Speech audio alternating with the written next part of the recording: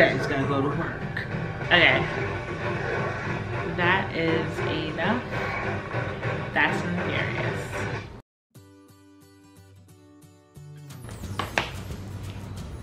Hey kids, it's Selena from the city and beyond. I am here in Miami.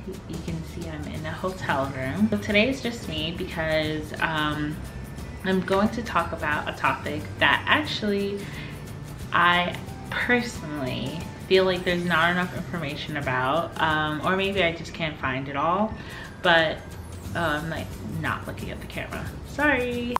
I'm the one that actually deals with um, ear pain on flights. Uh, doesn't really. I had well I had surgery on my ear my left ear uh, when I was like nine years old 10 years old I talked about it in our video uh, I think it's our health and travel video and um, I think I, yeah, I think I talk about it a little bit more, but basically I had surgery on my ear when I was a kid and I've been seeing a, a, an ENT for ear, nose, throat doctor, for those who don't know, um, since I was a little kid because of that surgery. I don't have like tubes or anything in my ear. It's just like there's a special situation. Totally inflicted by myself, by me. kids will be kids. So the information I'm going to provide today is not in replacement of actually seeing an ENT. I have an ENT that I see annually that actually checks out my ears, you know, my hearing and everything like that.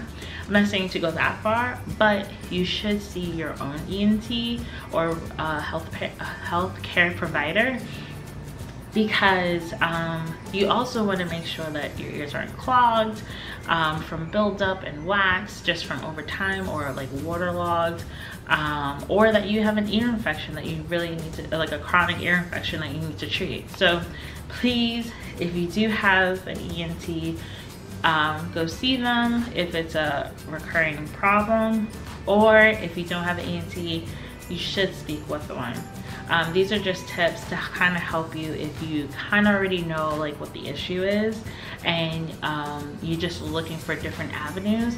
Um, maybe just run it across your healthcare provider before you do them. But ultimately, most of these are really safe um, and maybe one or two of them you should probably, it would have to be a conversation between you and a doctor. So number one, the first thing um, I thought of was Sudafed. Sudafed is really good at opening up your airways, um, not just like for your nose, um, but pretty much most of the time if you are having um, some type of pain on the plane, air isn't flowing correctly. Again, I'm not a healthcare provider uh, or a professional, but this is kind of like what my ENT explained to me.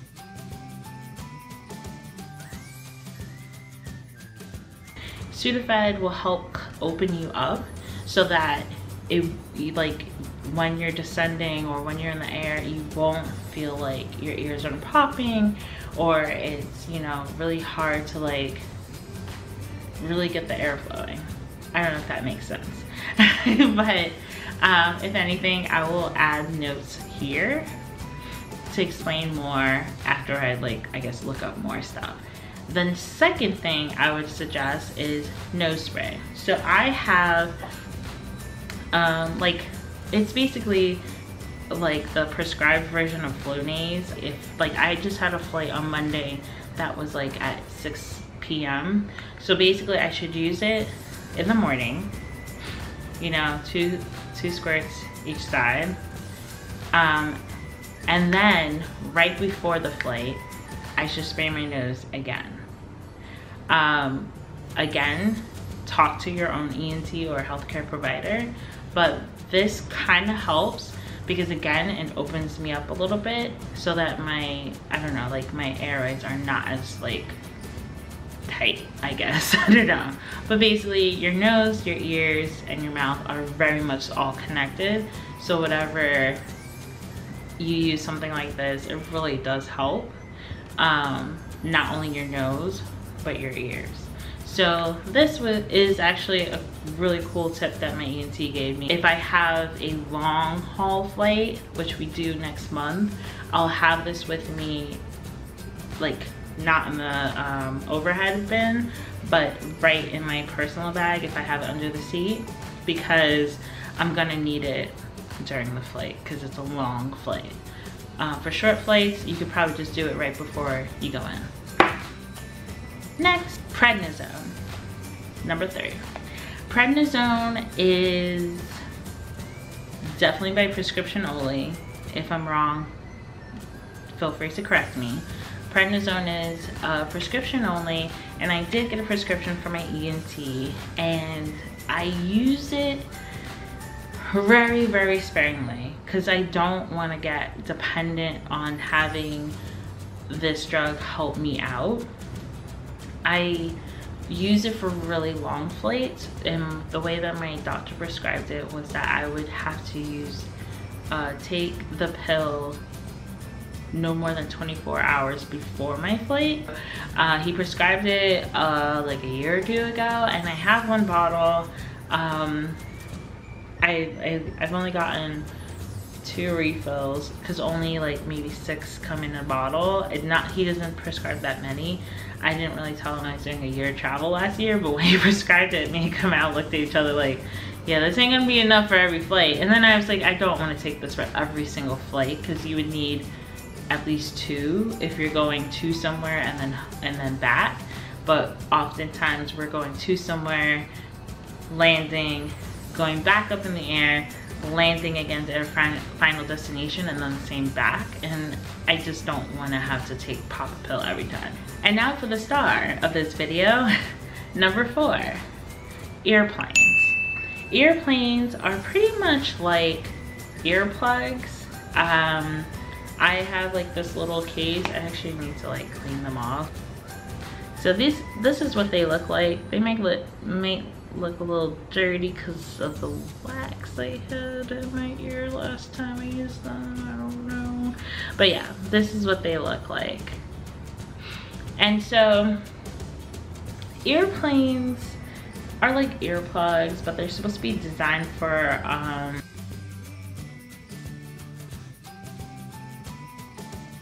pretty much what I do when I'm putting them in is squeeze them. I, um, ooh, don't look at me. I squeeze them and then put them in the ear. You know what I mean? And so I'm trying to look at myself to make sure I'm doing it right. And then if I, like right now, I can hear everything pretty perfectly through this ear.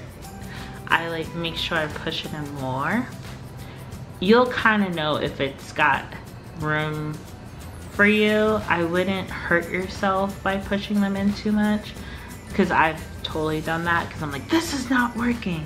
But just push it in until you feel like it's actually plugging the hole is in my experience what works the best. What I usually do is I'll at least have the one in my bad ear, which is the left one.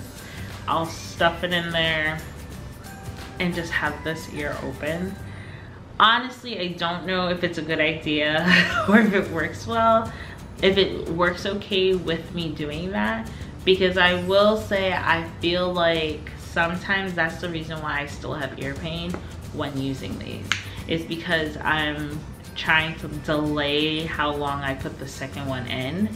But there's other times where I do do that delay and I'm absolutely fine. And it might be because I did the nose spray, the Sudafed, and, or my uh, allergy med that day and have been really keeping my ears clean or something like that. Like, there's so many things that can, I don't know, could really contribute to why sometimes it works and sometimes it doesn't. If I do one at a time, like one before we ascend versus doing both right away. But I do think, this is not sponsored, I do think earplanes really help. Um, I'm pretty much, every single time I'm flying, I have these in. Or at least one of them. And, and that's in the one that I know is gonna hurt if like like I didn't do everything I needed to do. Number five. So number five, the next thing would be massaging between your jaw and your ear. So let me show you guys how this goes. So if you open your mouth, you'll feel like a little area right here kind of pop up. It's like your actual cheek area, I think where the muscle is. Like right about here, like behind that. And it's usually the part of your ear or like canal of your ear or whatever that is already hurting. So you'll know where you need to massage. But so where it's actually hurting and giving you that pain from your ear is usually like right here. So you need to just like hold, this is what I do. Again, talk to your ENT, but this is what I do. I like hold right about here usually and start to massage it. And it's usually hurting so bad but I try to massage it and opening my mouth like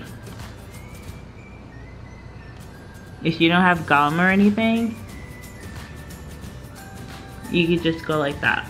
And it's not gonna relieve the pain right away.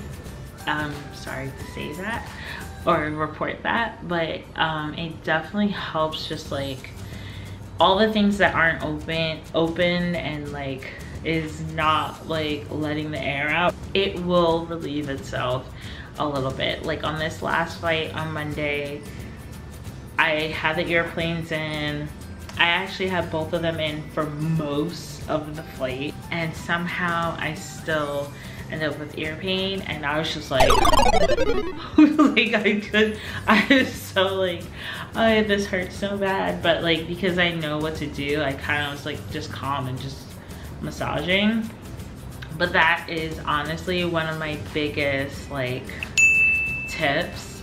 I've not i have not seen anyone else talk about that but maybe they have but it really really helps relieve that pain. Number six gum so i am not a religious gum chewer on a plane i've purposely gotten gum to have for this purpose maybe a handful of times. Chewing gum the whole flight, if it's like especially a short flight, I think is beneficial. Don't get me wrong. Um, I just know that sometimes you just really don't feel like having gum while you're on the plane. Like realistically, even though it's like a sucky thing and it's just so you could get somewhere, um, every single time you fly, uh, having to have gum can get annoying if you go on a lot of flights. Number seven. So one of the most popular suggestions on um, getting your ears to pop or just, you know, soothing that pain is yawning, which is such a weird word. I always have problems like pronouncing that, but you should yawn. Um, they said, you know, most people say frequently, like throughout the flight. And that is totally cool. You can yawn throughout the flight. Um, I don't know if I would say it's like the best solution to this problem, but um, it doesn't hurt. Because technically when you're doing the massaging, I am suggesting that you yawn, but um, if you find that it's not working, gum chewing is always like a good option but yawning I think does kind of help when you already have the pain to kind of like relieve and pop out the ears or not pop out the ears pop your ears um, it does help a little bit and so uh, my last my eighth suggestion for ear pain is not to sleep during the landing of your plane so I think pretty much every time it's a really good landing if I didn't realize that we were landing, aka my ears aren't hurting. So honestly, if you, you have no ear pain and you're feeling fine, then like you're gonna sleep through it. Um, but a lot of people do suggest that you stay awake for that time. So either set an alarm to go off when you're like, you know, like a few minutes before your landing time. And, you know, just whether it's put the other uh, earplane or earplug in your ear and that's why you're waking up is to make sure you have it in for the descension or um, to make sure that you put your gum in your mouth. Uh, I just hit myself a little. Definitely wake up, get yourself situated so that before your plane descends, you are kind of like alert and prepared for what may or may not come. But also it's good to like be ready for your landing and not like, surprise, you're landed at Heathrow. I hope that this was really helpful. Um, I deal with this like every other flight. Um, this year we didn't go on a lot of flights, so I didn't have to like worry about it as much. But again, when we did our year of part-time travel last year, it was maybe every couple of flights.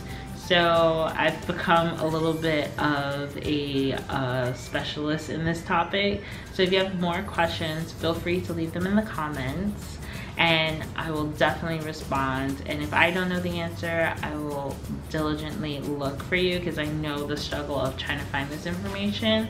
But again, please see an ENT if it's a chronic issue because your ENT or whoever's helping you with uh, whatever ear, other ear issues you have will be able to help you way more than this video. Um, these are just things to help with like suggestions maybe you can bring to your doctor and acts that they think will help. Um, and don't forget to subscribe and to ring the bell next to the subscription button. Like this video. Well, only if you liked it. And I'll see you next week. Bye.